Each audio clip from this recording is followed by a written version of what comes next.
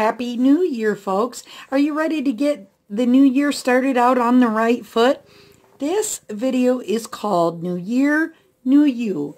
Five easy steps to make a success plan for 2019. Stay tuned. Hi guys, I'm Driver Lady Pro because I drive like a boss, but I try to stay classy like a lady. Uh, if you're new to this channel, make sure you hit that subscribe button and the little notification. If you're returning, please give me a thumbs up.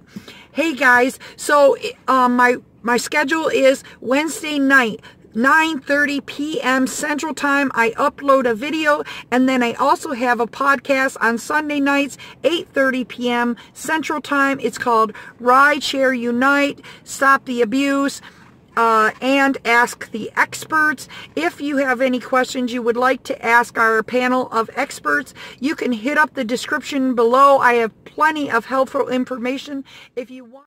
So guys, in the book Alcoholics Anonymous, it talks about a business that doesn't take an inventory will end up going broke.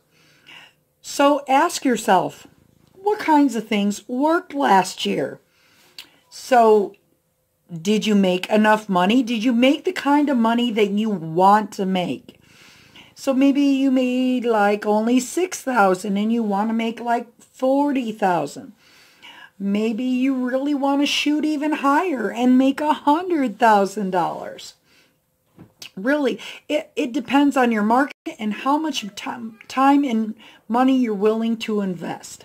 Or maybe you say, yeah, I have been doing this ride share and I want to try other gigs or I've been doing this delivery and I would like to try something different this year. What are your goals for the next year? Only you know what's good for you. So number one, make a plan and work that plan. Dr. Seuss said, the time has come. The time is now. Marvin K. Mooney, will you please go now? People can say inspiring things all day until you decide to do something. That is only when the real change comes. In AA, they teach nothing changes if nothing changes. There is a Chinese proverb that says to know and not yet do is to still not know.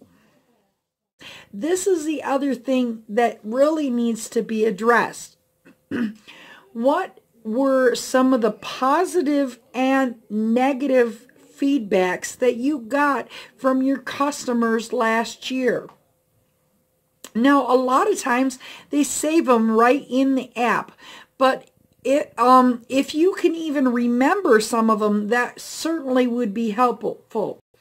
A lot of times people think that these customers are being mean or rude to us when uh, nine times out of ten, what they're saying actually doesn't even have anything to do with you. They might be talking about their experience, but we don't know if they're in a bad mood. We don't know if they're hungry, angry, lonely, or tired.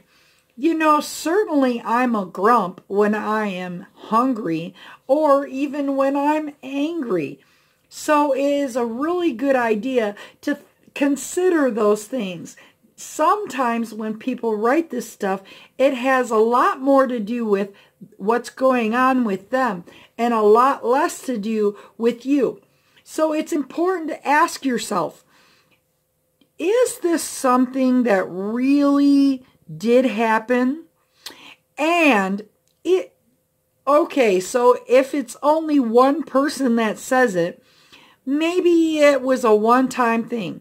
But if it happens a couple times, do you think you might be able to change something like that?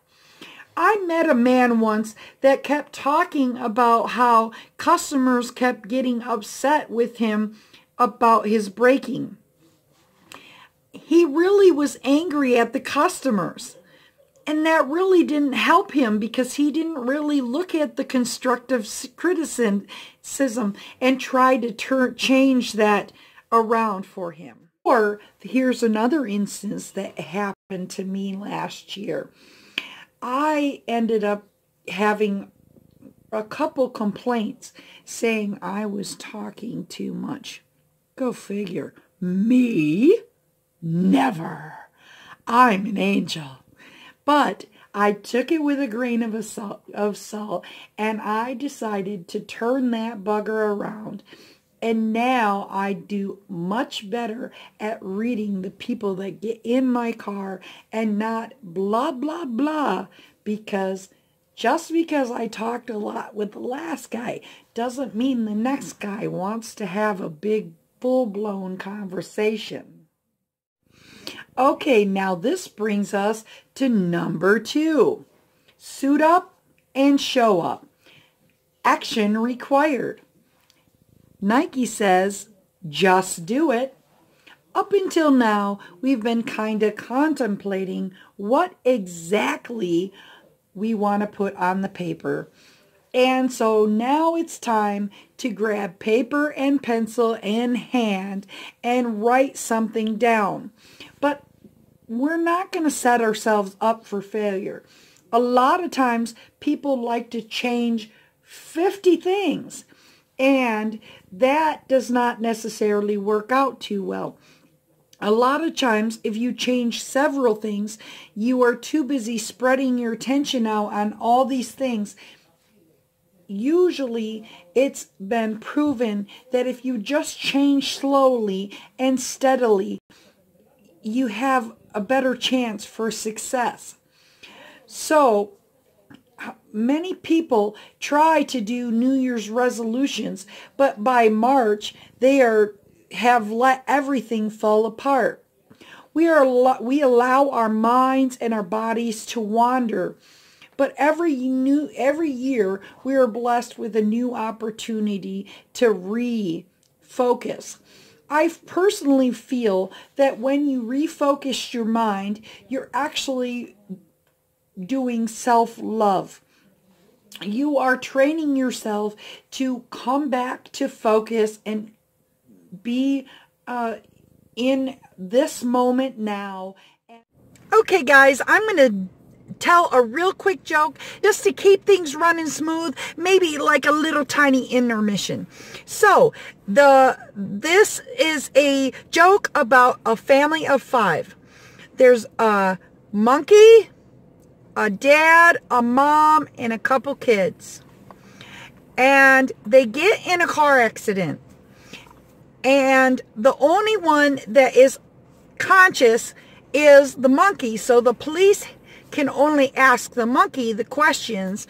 And he's a pretty smart monkey. He knows sign language and everything.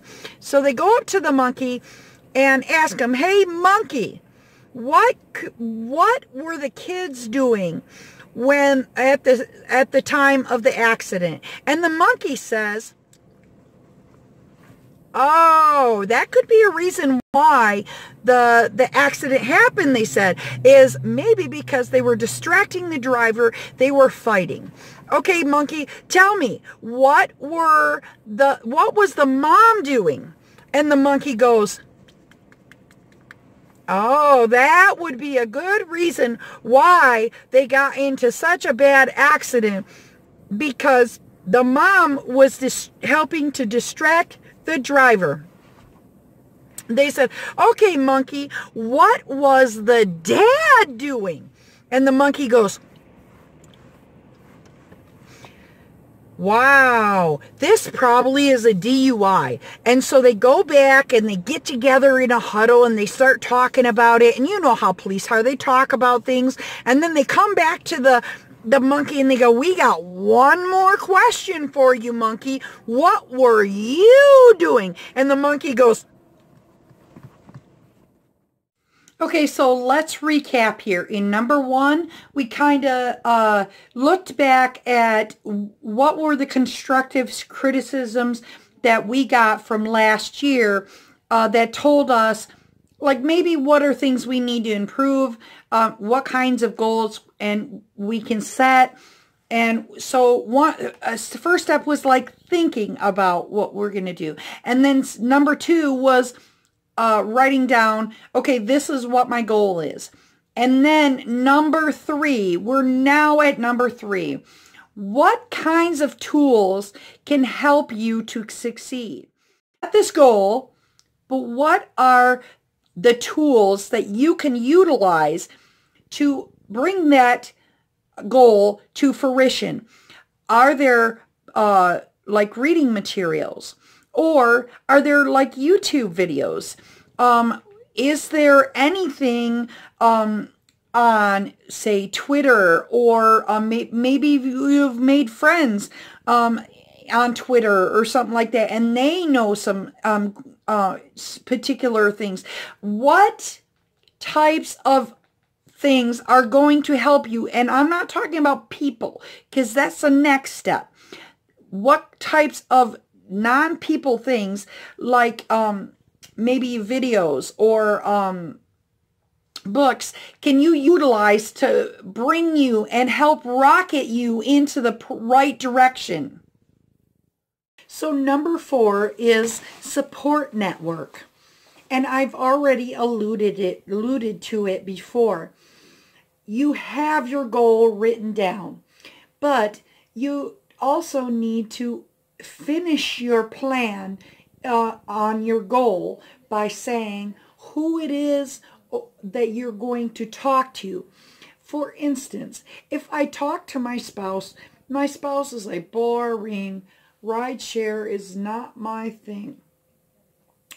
Maybe you can talk to your spouse, but maybe just talking to your family members is not good enough. They're not going to be able to give you the type of feedback that you need. So like I had mentioned before, maybe you can go to uh, your rideshare group that you've made friends in and ask people what they think about your goal and ask them if they want to be, if they support the ideas. Because if you have people asking you um, throughout the year, hey, how's that going? Sometimes it's better when you have them asking and you can say, yeah, it's going good. But it does suck if you forgot to keep on with it and then it's not going good. Remember, you are either your worst own worst enemy or you're your biggest cheerleader. And you can only choose to be that. I, so many times, even myself, I've done it to myself. Oh my God, look, I dropped that glass of water all over the floor and I've sat there and berated myself. What a klutz I am. I can't believe that I dropped that all over the floor. And, and I go into like saying abusive things to myself. But I can change that about myself. And it's only me that can choose to change those negative tapes into positive tapes.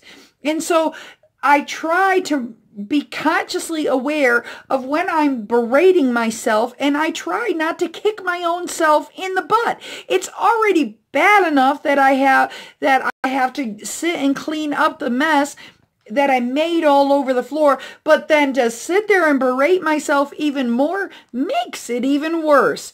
So the net this whole thing is about making time and self-loving ourselves and utilizing tools to go into a better positive direction. Okay, so number 5. We have done all this preparation and we are ready. Number five is all about setting a date. How long is it going to take us to get this particular goal done? It, are we going to try it for 30 days and see how it goes? Or are we going to try it for the whole next year? What date are we going to start? Are we going to start in a couple weeks? Are we going to start tomorrow? What is the date? Now write that date down. Are you going to collect information from other people and then start give yourself maybe a month to collect information from other people about that particular subject and then start make sure you make a solid day. I want all this because you are making yourself accountable. And this I have done in the past. I've said, okay, now I am going to start doing a regular meditation schedule and I need to get I need to find particular meditation material to start being able to do a me- regular meditation. So I am giving myself a week to find different meditating material so that I can do a better job at meditating. And so if you are going to set a date, um, set an alarm because a lot of times I have said, okay, now I'm going to start making sure that I remember to floss my teeth at night. And then I, lo and behold, the night would come and I'd forget to floss my teeth and, uh, or I'd forget to take a new medication. But if technology, recent technology is so wonderful that all I did is set an alarm on my phone and every night when I went to go brush my teeth, I'd have uh, alarm would hit, oh, at 11 o'clock at night when I go to brush my teeth, Oh, that's right. Make sure you floss your teeth too. And then I would do that or my skin regimen or whatever. Uh, add whatever your goal is that you're talking about um, that you're planning to do, whether it is to learn a new language or whatever. So number six, last but not least, I think is super important to talk about this. Okay, so you get going and you've been doing this for two weeks and then you miss a day. Okay, it is very important to be good to yourself. And that is number six. Be good to yourself. And if you forget, just refocus. Okay, oops, I made a mistake. And I already said it. Don't berate yourself. Pick yourself up and dust yourself off and go back at it the next day and say, okay, so I made it two weeks. Let's do it again. We're going to try and be um, a better, go in a more positive direction from this moment uh, uh from now on. And remember, you are your own best friend. And it's already bad enough that things in life are sometimes bad crap happens to us. Then if we sit there and kick ourselves in the butt, that's going to be no good. So um, be your own best uh, cheerleader and head in a proper direction if you end up forgetting a day or something uh, happens and you forget something and you don't do it. Setting boundaries for yourself and doing and making time to take care of you and go in a positive direction, that is all self-love. And that, you know, is a wonderful thing. Thank you for joining me to, um, thank you for, uh, listening to this video. Uh, if you do set a goal, please in the description below, tell me what your goal is for the year. I have shared some of my goals with you for for the year. Um, and please remember, don't overwhelm yourself. Try to only have one or two goals for the year so that you're not, you know, so many people want to quit smoking and go jogging and they want to lose weight and they want to diet and too many goals is too much. Just a couple goals is perfect. So, um, please let me know in the descriptions below. And if you have any questions for me, uh, you can contact me at driverladypro at gmail.com. Um, I also put other helpful information down in the description below. Um, I am on YouTube. I'm sorry, I am on uh, Instagram, Twitter, uh, Facebook, and uh, Tumblr, Tumblr, is it? Um, it, you can add me. I'm just Driver Lady Pro on everyone. So, um, uh, Facebook, I'm Driver Lady Pro Mandy Martinez. You can go ahead and add me. And if you have any questions or if you want to give me a question that I can read on the, on the, the podcast on Sunday nights at 8 p.m. Central Time, please let me know. Uh, hustle hard, but hustle smart. And if you don't hustle smart, take your broke ass home. Driver Lady Pro out. Hasta la vista, baby.